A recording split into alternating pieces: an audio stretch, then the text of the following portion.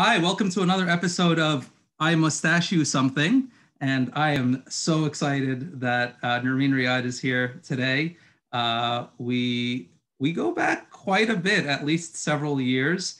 Um, I have already told her this is not news to her that she uh, is one of uh, the most terrifying people I know, um, where I, I, I tell I actually Nermien I tell this people people this story all the time. Like and, and you know how like Maggie like I put set you up to talk to Maggie recently?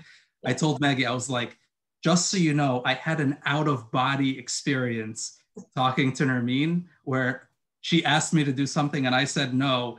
And then all of a sudden I was transported out of my body watching her convince me. I was like wow. You're getting taken for a ride here my friend and I was like, yeah, I don't know what, to, like, she's, I don't know. It's like, a, oh, dear. all right, I'll do whatever you say. It's so a wonderful uh, reputation. Oh, it's unbelievable. no, I mean, like, I, and I'm, I'm like, that's, that doesn't happen. Um, yeah. So, so yes, so I, I'm excited to have her here. Um, and, you know, if you've seen any of these recordings before, uh, you know that, um, you know, the goal here um, is, is to at least hear each other out and understand each other's perspectives. And uh, in most cases, I would say, I don't necessarily need to be convinced. But in this case, I'm, I'm just going to say, sure, yeah, I mean, yeah, whatever you say, yeah, no, yeah, I'll, I'll, you know, go off and believe exactly what you told me. So uh, for those of you that don't know, Nermien uh, is the founder and your current title is? Executive Director. She's the founder and executive director of Coptic Orphans, which is an organization she started back in 1988 uh, when she was like two, three years old. About uh, something like that. Uh, she was like in preschool. She started uh, uh, this organization. Uh, she currently lives in the Washington, D.C. area with her husband Yusri um, and her kids Yusuf and Justina, who are surprisingly around the same age she is, like they're 30 and 26. It's incredible. Um, so welcome, Nermien. Thank uh, you. I, I think uh, I, I think first, like I think we'd love to hear about kind of what inspired you to start Coptic Orphans, and I think it would be remiss not to at least explore that question a little bit for um, you to kind of share that story because I've heard it before, but I, I love the story. Absolutely. Thank you, Mena. Uh, lovely to be on your show and uh, really exciting. And I can't wait to hear some of the other speakers and what they've got to say. Uh, what inspired me? I think the deep down motivation has always been um, a sense of gratitude to God. And um, having come to the United States when I was little, so I saw mom and dad struggle um, and how we went from one stage of our life to the next to the next and and thinking there's nothing that we did to deserve all of this. You know why uh, what makes us any different? And so it's the constant gratitude. And you're just like um, david the prophet says how can i repay you o lord for all the good uh, that you have done for me? And that's kind of the sense that uh, was there as i was flipping through a magazine and i was in college and it said sponsor a child. And i was like wow sponsoring a child this is wonderful. But 18 $18 every month. Uh, where am I going to get that kind of money? And of course, I saw my friends and typical $3, $3, $3. Managed to convince them exactly. and there was no, no, no taking no for an answer.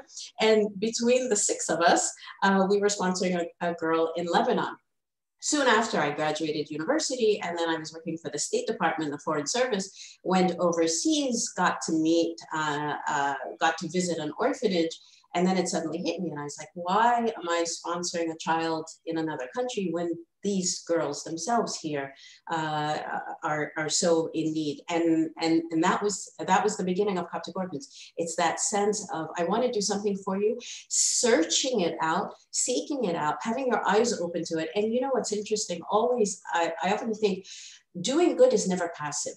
Doing good is an active um, uh, you go out of your door, you know, just as it says, and you know, and the Lord went about doing good.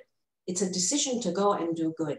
And so I challenge everyone who's listening is think about what good you have decided to do, not reacted to do.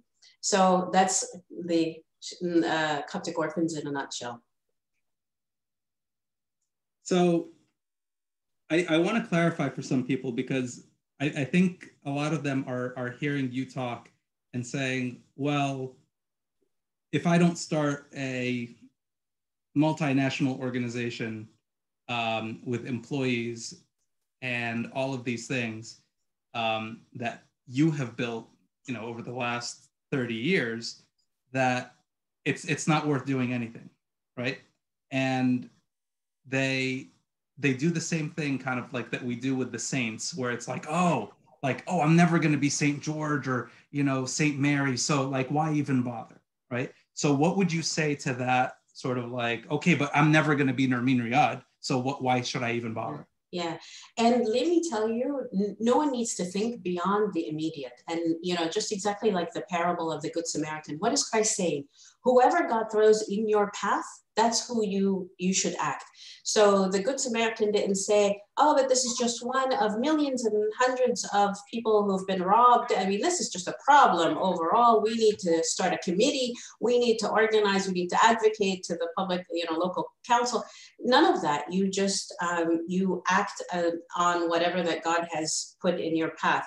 And and it's cute because i mean i tell you when i started they're like you're never going to affect poverty in Egypt. It's just too big. And I was like, yep, you're right. I'm not, but I don't intend to. I just want to help these girls. Yes, but it's impossible to change the educational system and get them educated. Yep, you're absolutely right. But I want to get this one kid educated. and so I'm going to do that. And then the one kid ended up being two, ended up being a hundred, ended up being a thousand.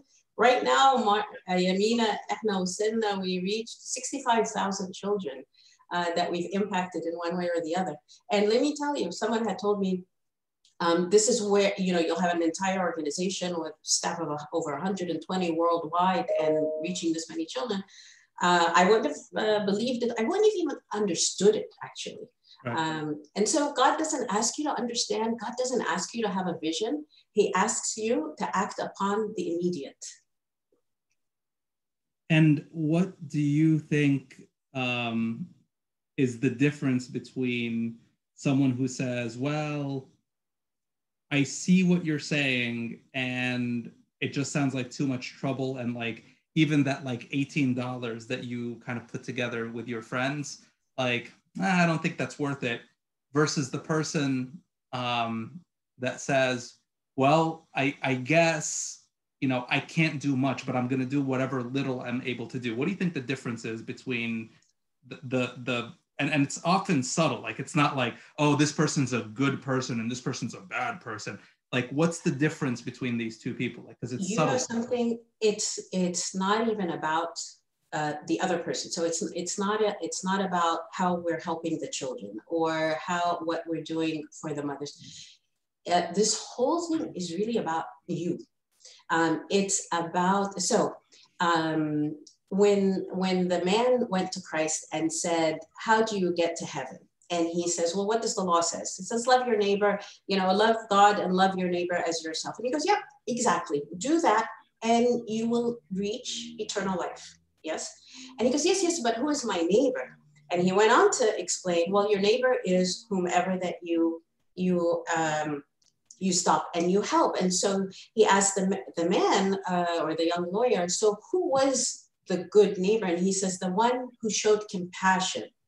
And he goes, exactly. Go and do likewise. Okay. Are you telling me, Christ, are you telling me that in order to achieve eternal life, I must show compassion? Why? What does it matter? I mean, I believe, I was baptized. Why is it? The reason he says you must show compassion is by showing compassion, you become like Christ. You become doing, you become united and Christ like. Um, and therefore, when you become Christ like and when you become united, you have started your first steps in eternal life. It begins here, the kingdom begins, begins here. So, um, so without it, I don't know what would people do.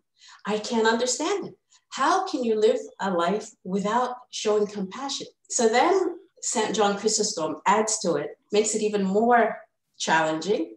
And he says, by you keeping this money that God gave you, you're actually stealing from the poor. Not only from the poor, you're stealing from God Himself. So everything that we have, everything that was given to us, came to us from God. Um, our health, our wealth, our finances, everything, our jobs, our skills, our talents, our abilities, it came from God.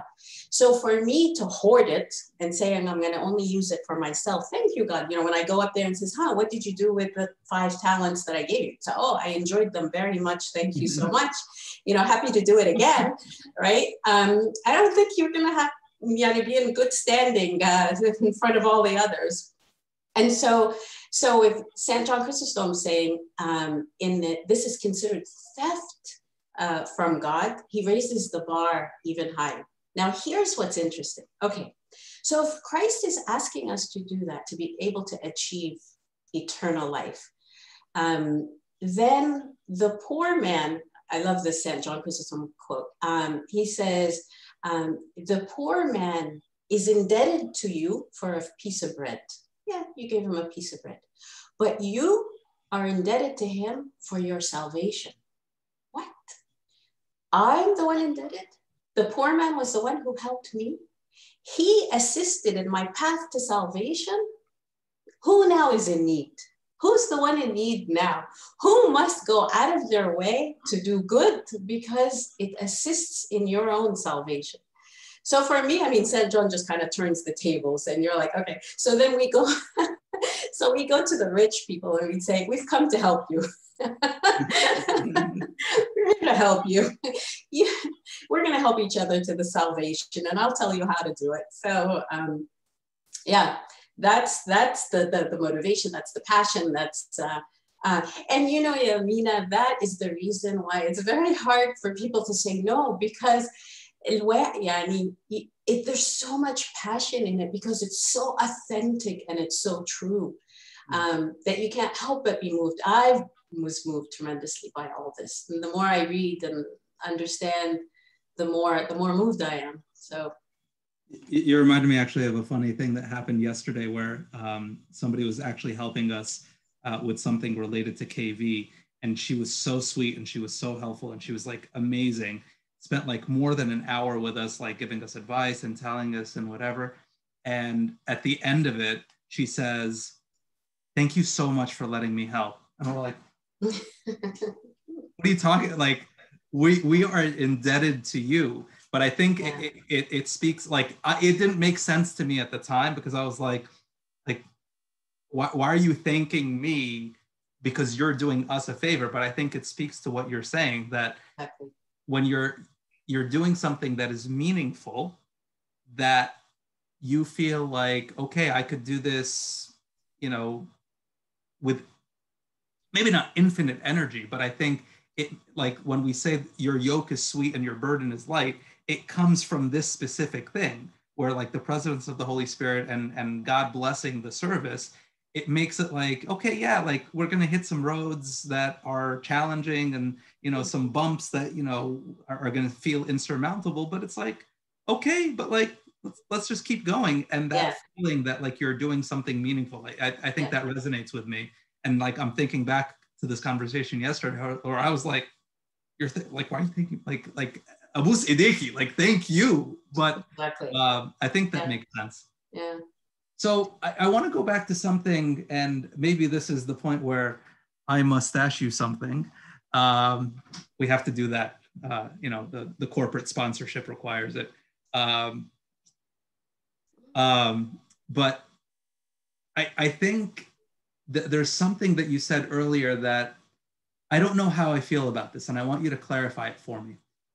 Because you said you, you had so many privileges, right? And you, you asked this question, why us? And I think there's this concept called uh, survivor's guilt, where like, you know, God forbid something bad happens and it, you know, disproportionately affects someone else or another group. And then the people that are left behind feel guilty. And sometimes there really isn't any rhyme or reason. Like, you know, accidents happen, things happen, and sometimes some people get lucky and some people don't. Now,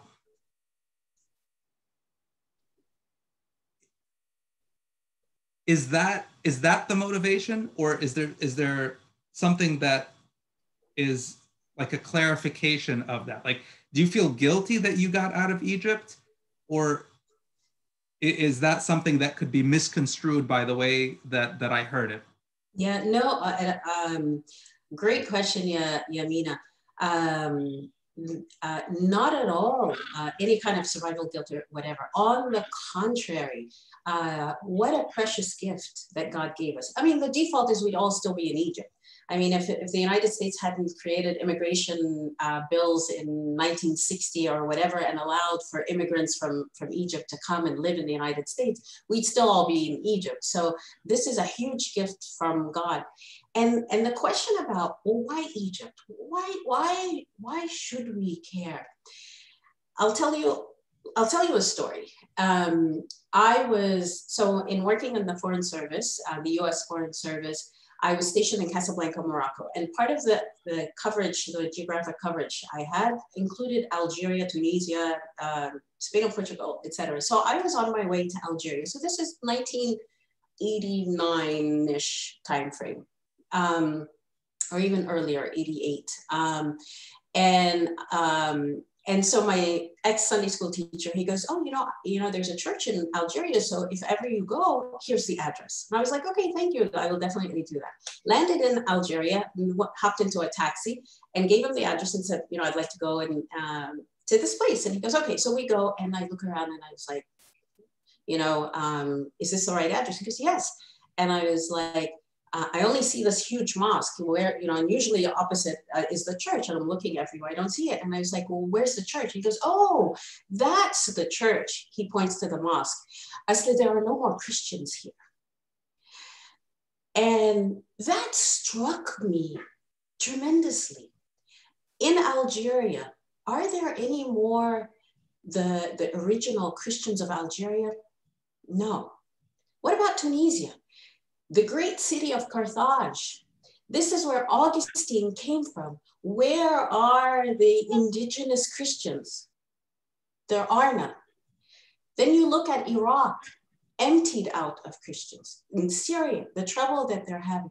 The only place in the Middle East who has a sizable Christian population is Egypt. How in the world did they manage it? How in the world was I had that I had this incredible privilege to be born Christian, Egyptian, and Christian? What in the world did my great grandfathers do to preserve the faith so that I can be born. Do you realize how many generations had to have preserved the faith for me to have been born as a Christian in Egypt? At least 100 or 120. I don't remember the calculations of how many years from Saint Mark to till today. Um, so, so then I sit back and I go, wow, these people, these people did a lot. These people did the best thing that they could have done for me. And I owe them a debt of gratitude. I owe them for having preserved the faith. And not only have they preserved the faith, they're in the front line. Where is the persecution that we are getting? Absolutely nothing. Well, thank God. I mean, I don't ask, I want persecution on, on anyone. And yet they over there continue to be the front line. When the churches were being bur- burned in um, 2013, I remember um, um, one of the volunteer reps, she was telling me about what was happening in such um, there was uh, the uh, what happened uh, the Eligesh uh, came there was uh, um, um, Hasrat Tagawal, which is uh, curfews and such things. Oh, actually, this was a even before the church is being built, uh, burned. So there was this big uh, problem in Abu Uras. Uh, a fight in Masihim Muslimin and, and the army had to come in and such, and it was during Holy Week.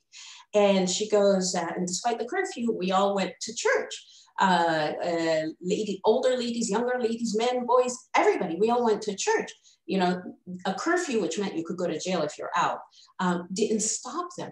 And then she says, and then even the, the, the soldiers who were uh, standing in front of the church, our shabab, our youth said, go, you should, you know, leave, leave men here, uh, And I was like, wait, wait, why would you want to tell them to, to leave?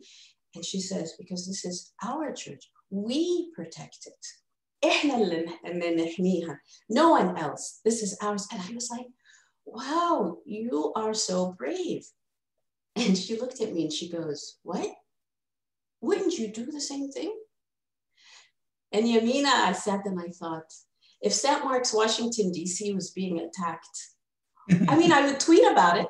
I would definitely tweet about it. From the garage. Right? But would I rush to protect it because this is my church? And I, I, I just, I, I'm, I'm humbled by the, the people of Egypt, the Christians of Egypt. I am humbled by their faith. Um, I am honored to be to be able to call myself a Copt because of them and and their strength of faith. Um, I'm just I'm just enamored, and I want to do everything in my power uh, to help them, to strengthen them, to preserve, to give them whatever tools that will allow them to preserve the faith uh, from generation to generation. At what point, though, does a, a Coptic identity become something that is sort of irrelevant to people in the diaspora? Because that's something that I think less so with our generation, but more so with the the second, third generation that's coming through. You know, they're asking like, what does Egypt have to do with me? And these mm. identity issues are not something I think you and I identify with Egypt culturally, spiritually, and personally, right? So how does that zeal and how does that sense of connection to all of these things that you're saying, which I like, you know, get sort of implicitly. But if somebody else is listening to this and going, yeah, but that doesn't really apply to me, right? I'm going to find my identity, I'm going to find my spiritual connection elsewhere or in a different interpretation of what the Coptic church means to me. And this is how I want the church to respond to that need here in the diaspora. So, how do how do you bridge that? You know, uh, absolutely. And I, um, uh, I, we, we had conversations and discussions about about exactly that. Well, what does it mean? What does the Coptic identity really really mean? And what does Egypt have to do with it? And um, and can I can I be Coptic and not know anything about Egypt? Um, um, can I still call myself a Copt and hate Molokhia? Um, really... no, that's a no. That's مش كده برضو I mean I... okay like there's the door بالظبط um, no no I like uh, you have to have some standard please I agree يعني ف um, so I think in any Copt um, I think can acknowledge that the the roots of our faith is very much in Egypt and and to be able to understand that faith, that uh, Coptic faith, uh, it's good to delve into that and to have an understanding of that. We're talking about monasticism, very much affected our, uh, our understanding of our faith. Martyrdom is, is very much a Coptic thing. It's a very much a Coptic um, flavor to our faith.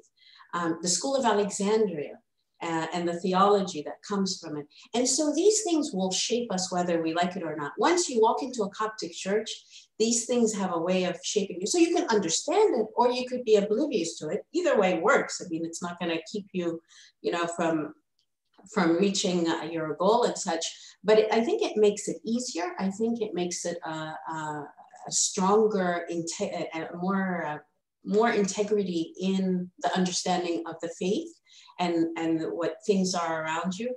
Um, and also, it gives you an embodiment of the faith being lived. And so here it becomes harder. طبعا احنا uh, you know, you could be صايم and nobody else in, at your job even understands يعني ايه الصيام. You know, you could be um, anticipating, you know, Eid on January 7th and you have to kind of explain it. In Egypt, you don't explain. Right. In Egypt, you're assumed uh. And, and they even have menus now at restaurants. You Oh, you want the Siomi uh, menu? Oh, here it is, rather than us going, uh, do you have anything vegan? it happens in New Jersey, by the way, also. Like, yeah. a buddy of mine said uh, he, he pulled into the drive through uh, yeah. in New Jersey, and he was like from out of state, like from a place like where, you know, there's like a normal prevalence of Coptic Egyptians, but he pulls up to this drive-through and or- orders something Siami, and the lady on the other end of the machine, she goes, "And the Habibi." Excellent. like only in New Jersey. only in New Jersey. And and so it, I mean, so what does that do to your to your faith in the in the, that you begin to see the embodiment of faith, and then you you get to see, um, you get to see people that you you then you kind of step back and you go, ah, now I understand, oh Lord, what you mean by faith. Now I understand, oh Lord, what you mean by compassion or by sacrifice. It becomes real. And and and the lovely thing is, especially in the south of Egypt, I am totally pro Saida. I'm not a Saidi myself, but I I really appreciate the Saida more than anyone else in Egypt. But to go into the Said and to begin to see that faith uh, lived daily, not only on Sunday, and we're experts on the Sunday living, um, but to be to see that lived and to see the obstacles that they face and still um, have that strong faith. So the roots is there, uh, and I encourage everybody to go and learn more about it.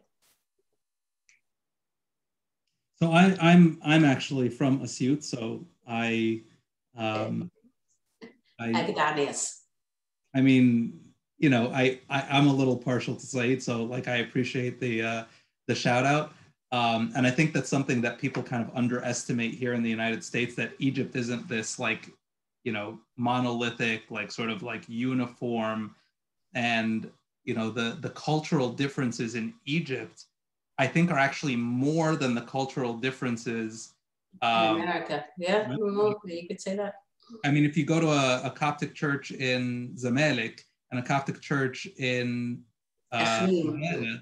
like there i mean like it's going to be like two different planets versus here you go to a coptic church like anywhere in the united states there are going to be some people from zamalek and some people from Marghera and some people from Bursaid and some people you know that are third generation. So like the the cultural profile in the united states seems like at least to me less of a shift. But the difference yeah. is here everybody kind of you know um, goes everywhere and sees the differences and like they're like oh my god it's so different than my church. Like we say amen not amen. I can't believe they say amen here. Like they're so meh. and like meanwhile in egypt like a lot of people really don't move around.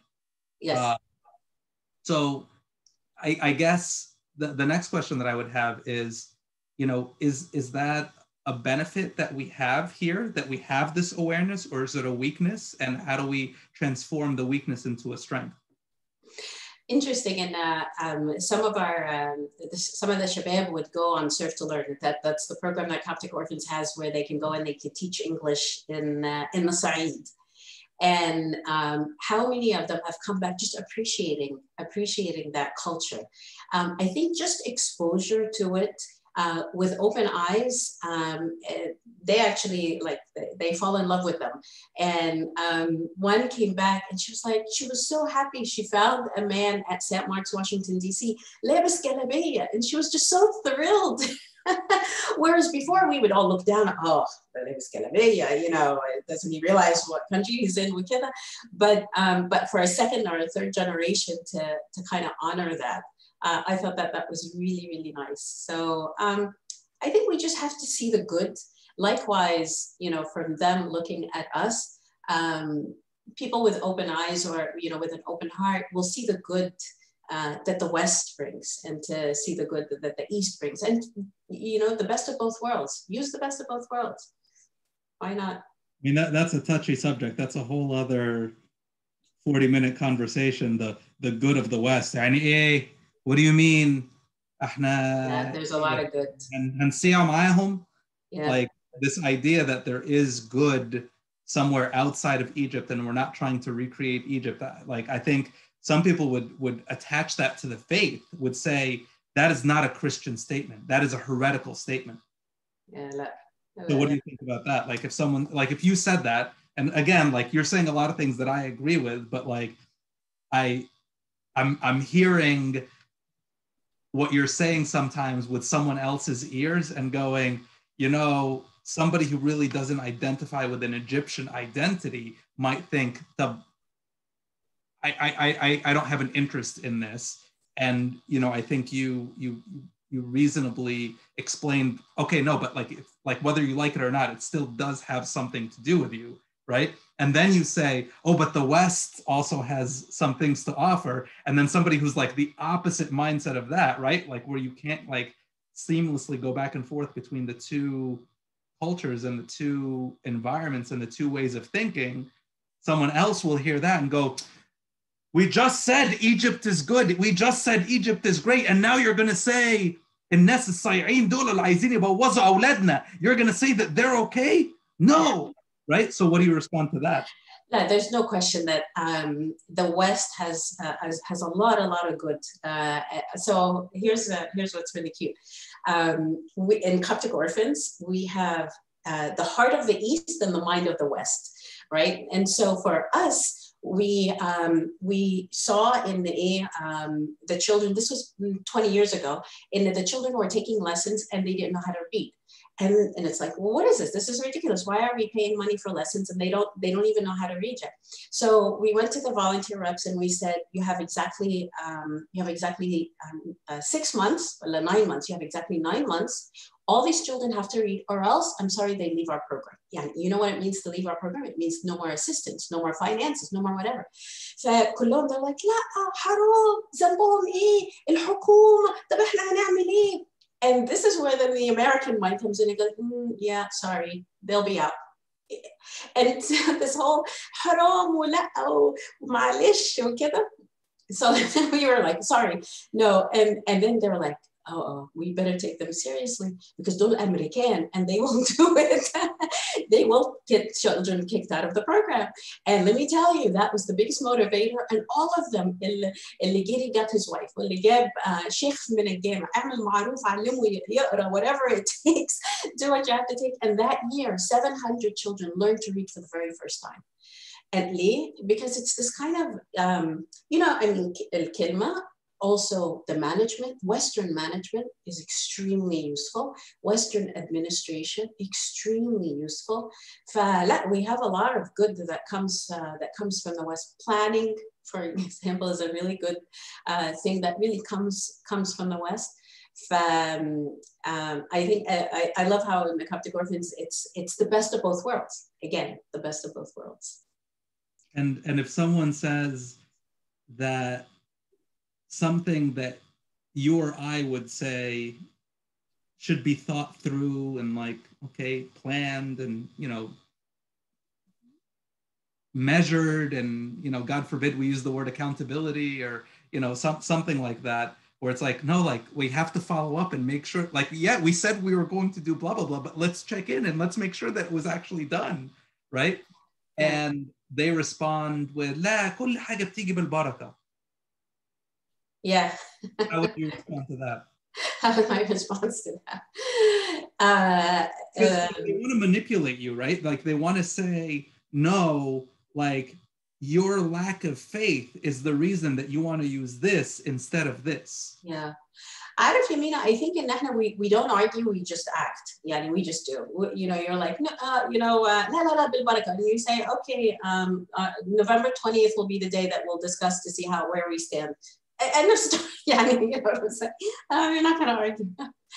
but I had a phenotypenia that, uh, that I really like in the West um, discourse, exactly what you're doing discourse, the ability to, the ability to disagree and not lose each other as friends. And to the extent, Yarina, in um, I would actually tell people uh, from us, I would say, okay, let's not say, I have an idea or, well, my idea is Keza. Why don't we say, well, here's an idea. Le, to separate my idea from my person. So you could criticize this idea all you want, and I will have no problem at all. I'm it's separated from me. Mm. but in Egypt, yani, it's all wrapped up. You know, how dare you disagree with my idea? لا, idea حاجة أنت أنت حاجة ثانية. the ability to, uh, to listen, the ability to separate between the idea and the person. And, and actually, you know, um, هقول لك كمان what I realized is in Egypt, growing up, you know, like in kindergarten and first grade وكده, what do kindergarten and first graders here, their tables look like? What are the tables in kindergarten look like? Question to you. I, I don't know. I, tables uh, are round, typically around, right? Oh, in, sure. in kindergarten, first grade. you haven't been paying attention, have you? like Mary, like my wife Mary, will be like, "You didn't see like this okay. on the kitchen island that you walked past like ten times." Like, oh. okay. yeah, very okay, good. We, we won't ask you any more questions. No, no, no. Like like observational questions. I'm like, uh, I don't know, trapezoid. The answer? trapezoid. Uh, okay, now I know it's round. If someone else so, asks me, it's round. It's round. And why is it round? Because from the very beginning, we're taught to work together. We're taught we're a group, the blue team, the A team, the whatever. Look at kindergarten and first grade in Egypt. Suf, suf. So you rows after row, individual. You and the teacher is all that matters.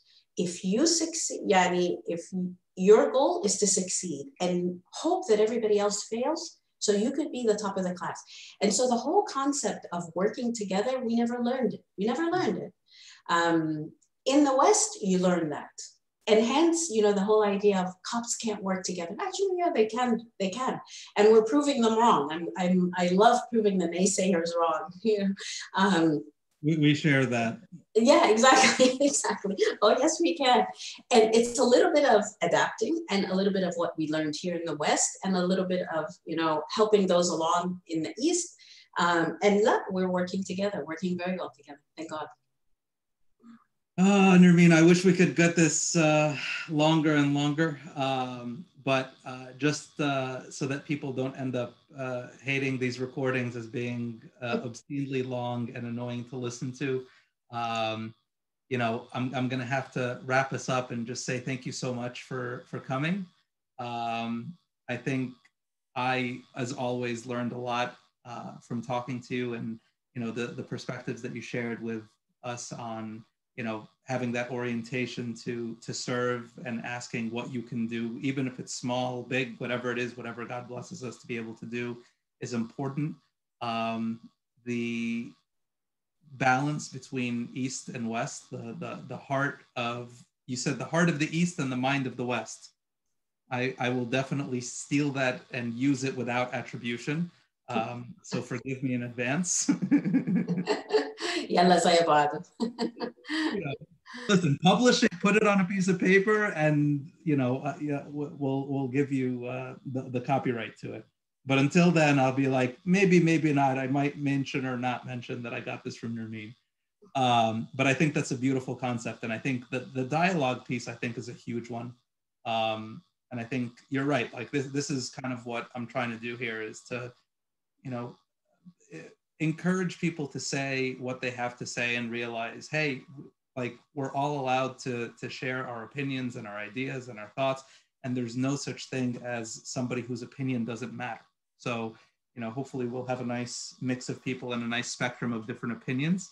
Um, not all of them as convincing and as strong as yours, but you know, um, all good, all good. Do you, have any, uh, do you have any final thoughts, any final wisdom for us? yes, the final wisdom in, in everything that you do, do it for the glory of God. Um, yeah, and that's the most important thing. And um, how many times I've told God, the day, the day, Yaro, the day that Coptic Orphans stops glorifying God is the day I ask you, oh Lord, to end it and we all go our own way. But that must be always your underlying, underlying um, foundation. I love it. And with that, I uh, thank you and I thank our listeners. Very good. Thank you, Mena. Wonderful to have you.